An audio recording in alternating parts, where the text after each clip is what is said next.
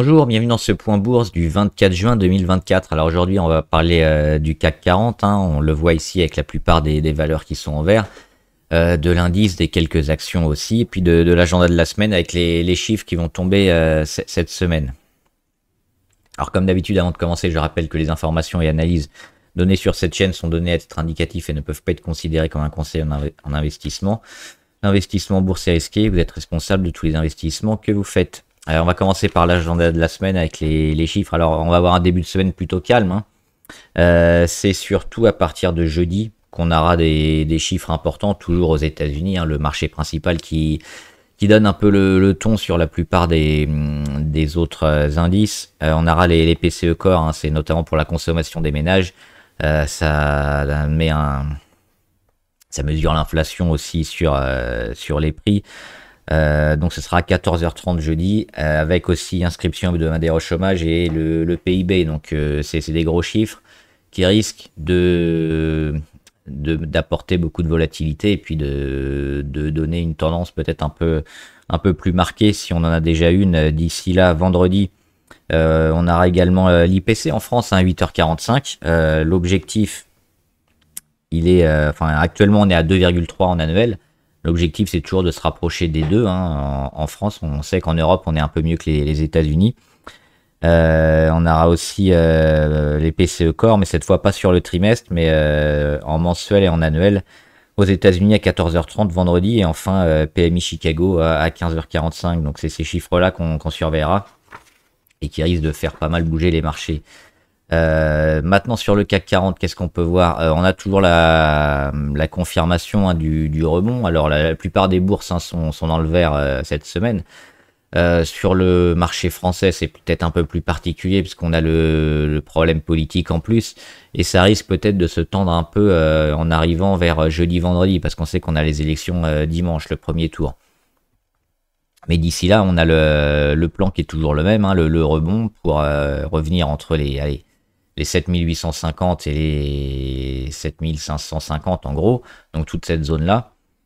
Euh, le risque, c'est quoi? A priori, ce serait euh, une, victoire de la gauche pour la bourse. Hein. ce serait le, pire. Pourquoi? À cause du, programme qui coûterait cher et qui ferait euh, augmenter les, taux, les taux d'intérêt notamment. Hein, pour, la France, pour le RN, le le programme a été un peu édulcoré, donc du coup, ce serait un peu moins impactant, même si ça pourrait quand même euh, être une, euh, une nouvelle un peu, un peu moyenne. Euh, et le, meilleur des, scénarios, toujours pour la, bourse, ce serait plutôt le, camp présidentiel qui arriverait à, l'emporter, mais plutôt au niveau des sondages, on n'a aucun des, camps qui se, qui se fortement pour une pour un,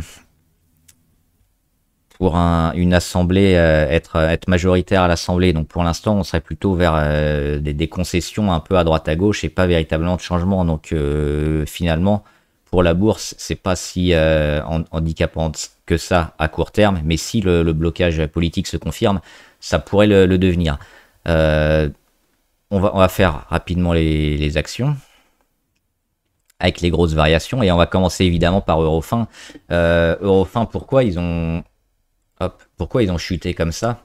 Euh, bah Parce que Moody Waters, un, un, fonds notamment qui, short euh, Eurofin, a, annoncé hein, des, probables irrégularités sur les, comptes depuis, euh, depuis beaucoup, beaucoup de temps, hein, plusieurs, plusieurs mois, plusieurs années.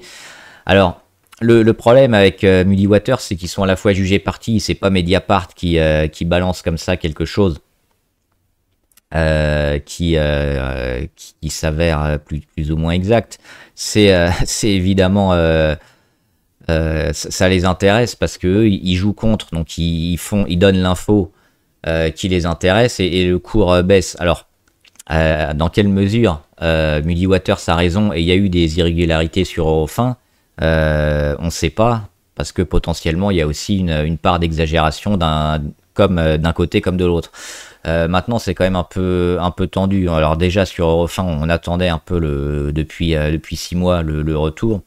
On est dans cette période un peu de, de, gestation où il se passe rien hein, avant le, retournement. Et puis là, Midi Waters a mis quand même un, un, coup sur le, sur le crâne hein, à, Eurofin.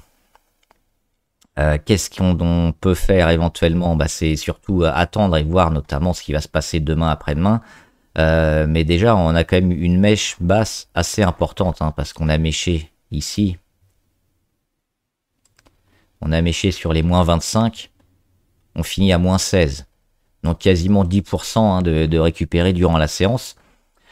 et puis, oui, c'est des niveaux, on retrouve les, les 44,8, hein, le plus bas du mois d'octobre 2023. Alors, chaque fois hein, dans ce genre de, dossier un peu euh, polémique, on peut toujours tenter les, rebonds techniques, mais bon, il faut plutôt être devant l'écran et euh, se, se mettre à l'achat quand on a des, signaux un peu, un peu forts et puis euh, se protéger avec des stops, avec des, niveaux clés hein, pour, pour jouer, jouer uniquement ce qui a joué sur le, sur le court terme et pas véritablement rentrer pour un investissement long terme maintenant. C'est c'est pas le genre de choses qu'on peut faire, même si on peut se dire qu'on a une décote importante. Euh, c'est risqué. Donc euh, sur Eurofin, on serait plutôt euh, négatif quand même et, rester à l'écart. maintenant, il y, a, beaucoup de choses qui ont, fonctionné. On, l'a dit avec les, le côté politique notamment, et puis les, sondages qui finalement euh, seraient pas trop euh, négatifs hein, pour euh, les différents scénarios qui, se passeraient en, cas de, succès de tel ou tel camp. donc, a priori, le, le, risque qui a été un peu exagéré est en train de, de se résorber, notamment sur les bancaires. on le voit avec BNP, plus 3-2 ça, rebondit bien, hein. ils sont toujours, euh, toujours, super intéressants. BNP, le Crédit Agricole, c'est pareil, à plus 2. Et la Société Générale à, plus 2,06. Alors, euh, moi, je suis toujours plutôt favorable sur les bancaires. Je trouve qu'elles ont été trop massacrées avec ce qui s'est passé. Euh, c'est plutôt intéressant à voir. Et puis même sur le, sur le moyen terme, hein, après les élections, si on n'a pas de blocage à mi-juillet, les, les, bancaires quand même, devraient quand même performer.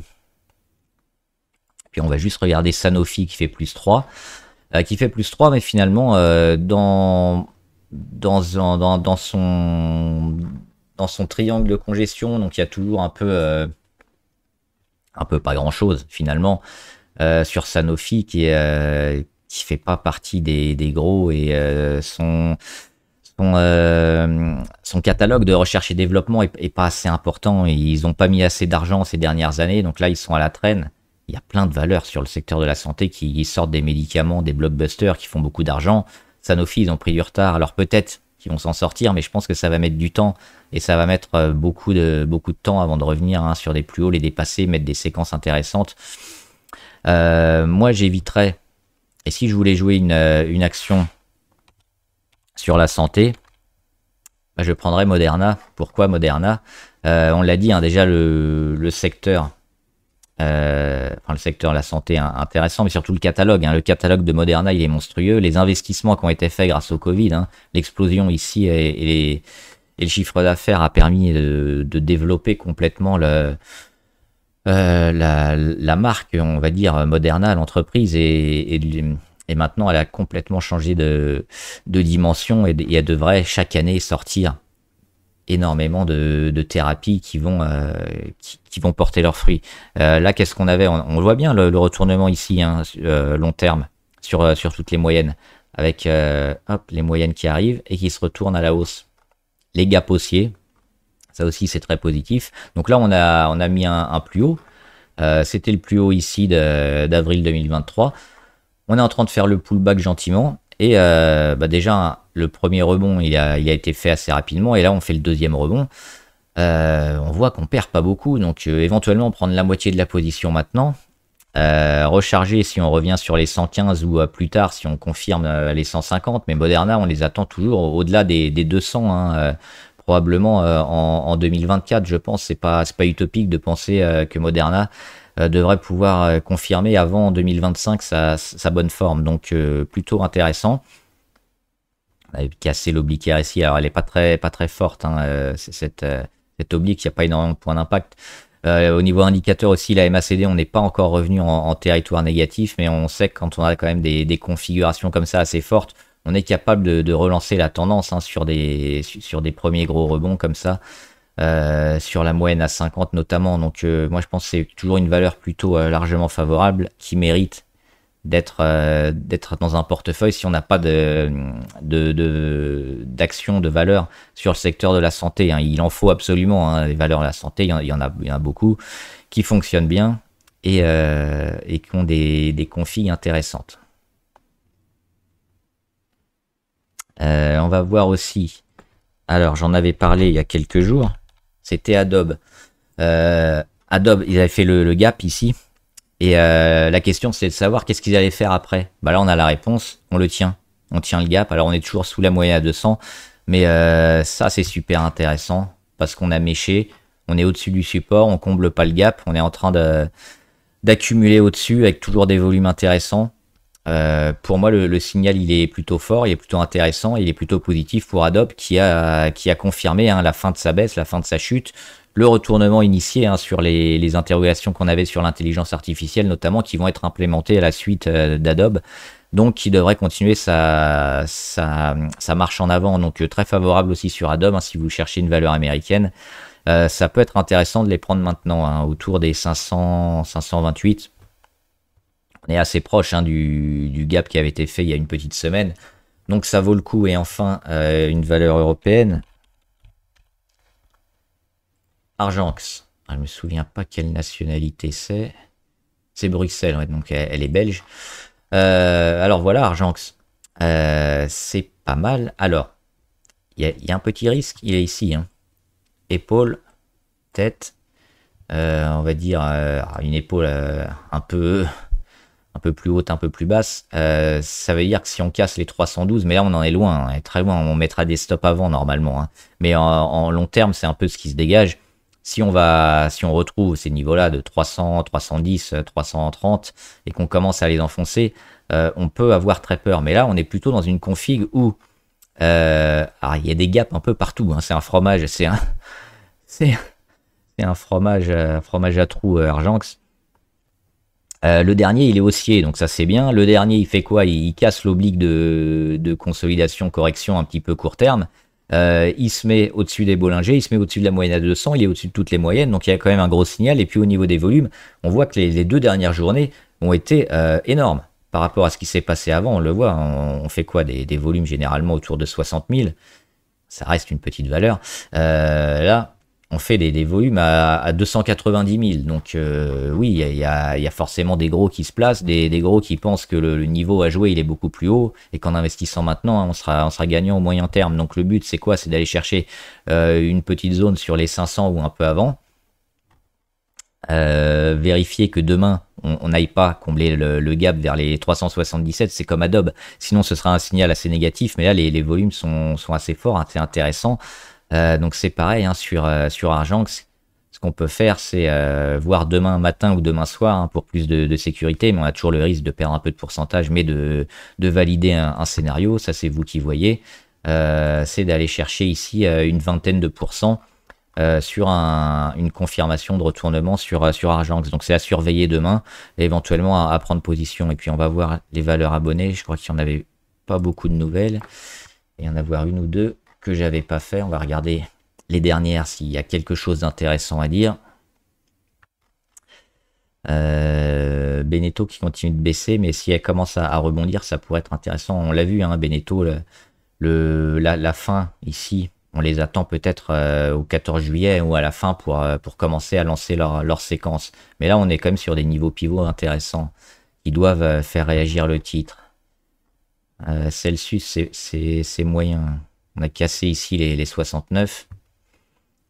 Euh, attention. Alors SO, on le voit bien, SO euh, explosion. Euh, on avait ces signaux-là hein, pour sortir notamment. les plus bas à chaque fois. Quand on monte, on fait des, plus bas et ensuite on les, on les recasse à la hausse. Donc c'est ces niveaux-là qu'on surveillait. 85, 130, 153, 172, 175. Et puis là, les 175, ils ont été cassés le, 11 juin. Donc là, on a une première alerte quand même court terme qui nous dit euh, il vaut mieux partir. Et on voit qu'on a la confirmation derrière. Euh, le retour, euh, il peut se, passer jusqu'où? Bah, Peut-être qu'ici, les 130, hein, ça pourrait être un, point pivot intéressant. C'est trop tôt pour avoir une, idée, un peu plus correcte, mais, mais il faudra surveiller oui, ce qui va se passer. Et puis les points d'accumulation Iris Energy, il n'y a pas grand chose de nouveau. Bah, il y a le Bitcoin qui descend beaucoup aujourd'hui, hein, donc euh, Marathon Digital, forcément, ça descend aussi. Euh, plutôt toujours favorable sur le Bitcoin, il n'y a pas de raison. Hein. Euh, même Scap, on était parti. Nexity, ça, ça, demande beaucoup de, temps, beaucoup de mois. Novo Nordisk. il y a je crois qu'il y a eu un changement de un changement de recommandation sur Novo Nordisk, donc à vérifier. Hein, et puis si on revient sur les 137 et qu'on l'enfonce, ah, ce sera peut-être la, fin de, l'euphorie sur Novo Nordisk. Donc attention. il n'y a rien. Persifiant, il n'y a rien. Euh, Prologis, ben, on bute toujours sur les, 112. Hein, euh, tant qu'on n'est pas au-dessus, qu'on confirme, il n'y a rien à faire. Rio Tinto, je crois que c'est celle-là que j'avais pas faite. Euh, Rio Tinto, euh, c'est une minière, il me semble. Euh, ouais, c'est ça. En Australie. Euh, c'est intéressant, ça, c'est les, plus bas de plus en plus haut hein, qui, vont comme ça former une, congestion sous la, sous la résistance à 72. là, on avait failli casser, et puis finalement, bah non, on est, on est reparti à la baisse, donc on voit qu'on a quand même une, énorme résistance ici hein, sur, les, sur les 72. Là, on, s'en était affranchi qu'une journée. Hein. Euh, là, on l'avait frôlé. Là, on est passé deux jours, mais finalement, on recasse. Euh, mais par contre, c'est ça. Hein. À chaque fois, on rend de moins en moins. Donc, euh, le, le, ce, qui, risque de se passer, c'est ça. Et puis, et puis aller finir par casser. Hop, finir par casser. Et puis aller vers le haut. Voilà. Je sais pas où je suis allé là. Oula. J'espère que ce sera pas prémonitoire. Hop, c'est pas ça. Donc plutôt, euh, plutôt positif hein, sur, euh, sur Rio Tinto, mais il euh, n'y a rien de, particulier actuellement. Au niveau indicateur, c'est pas mal hein, d'investir maintenant. Thales, toujours vachement positif sur Thales, hein, avec les, secteurs de la défense qui, qui, augmentent un peu leur budget un peu partout. On avait une grosse décote, là on commence déjà à revenir dessus. Euh, c'est pareil pour le moyen terme, hein, c'est toujours intéressant euh, d'avoir une, valeur comme ça, un peu, euh, un peu typée défense. Et Vistra Corp, bah, on attend toujours la fin de congestion, hein, rien de particulier sur, sur Vistra. C'est cette partie-là, il faudra tenir les 75, et si, si c'est bon, hein, on pourra, pourra peut-être relancer. Le problème, c'est qu'on est, on est monté déjà tellement haut, tellement fort, que ça risque d'être compliqué quand même hein, d'investir. Euh, si j'investis moi sur, euh, sur une action comme ça, je, pense quand même à mettre des stops parce que euh, la possibilité qu'on ait une correction un peu plus longue et une consolidation assez lente, hein, parce que là on est loin de même des moyennes mobiles les plus longues. On est à près de 62%, alors c'est pas énorme. On a certaines fois des technos où c'est beaucoup plus grand, mais, mais quand même, il faut, il faut être prudent sur ce genre de valeur. Voilà, j'espère que la vidéo vous a aidé. N'hésitez pas à me, me poser vos, vos questions en commentaire et euh, vos questions sur la bourse, le trading en général, j'y répondrai. Bon trade, à plus